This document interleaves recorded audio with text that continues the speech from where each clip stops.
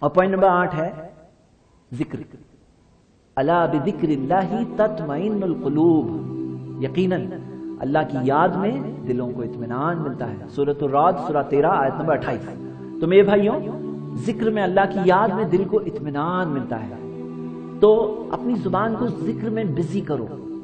اور جیسے مثال کے طور پر، لا الہ الا انت، سبحانک، انی کنت من الظالمین۔ جب کوئی شخص یہ کہتا ہے تو اللہ کی مدد آتی ہے۔ یہ یونس علیہ السلام نے جو دعا پڑھی تھی۔ اللہ کے رسول محمد صلی اللہ علیہ وسلم نے بتایا کہ اللہ تعالیٰ جو شخص یہ پڑھتا ہے، اللہ تعالیٰ اس کی مدد کرتا ہے۔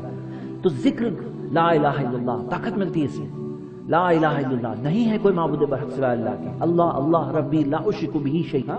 تو ذکر تو ذکر میں جو خاص دعائیں ہیں پریشانی کے لیے، وہ تو الگ بات ہے، لیکن ذکر میں سبحان اللہ، الحمدللہ۔ ہوتا کیا ہے نا؟ لوگ بولتے ہیں کہ پریشانی میں میں گانا سنتا ہوں تاکہ پریشانی دور ہو جائے۔ غلط چیز ہے، گناہ مل رہے الٹا والا۔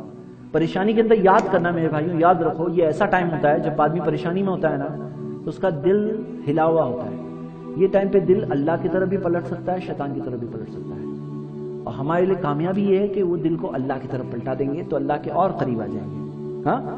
اور شیطان کی طرف بھی پلٹ جاتے ہیں کتنے لوگ۔ پریشانی میں جا کے فیل ہوتے ہیں۔ وہ پتا ہے نا، شرط، اللہ کی اللہ کی عبادت کرتے ہیں، شرط پر کہ خیر ملے گے تو اللہ کے اچھے بندے بنے گے، نہیں تو نہیں۔ تو یہ کیا ہے؟ پوائنٹ نمبر آٹھ فرسٹ پوائنٹ کیا تھا نمبر دو توکل نمبر تین تقدیر پر ایمان نمبر چار آخرت پر ایمان نمبر پانچ عمل الصالح نمبر چھ نماز نمبر سات دعا نمبر آٹھ ذکر دیکھو ہم دیکھ رہے ہیں کہ پانچ نمبر سے جو سٹارٹ ہوا ہے سب عمل ہے کام ہے ہاں پوائنٹ نمبر نو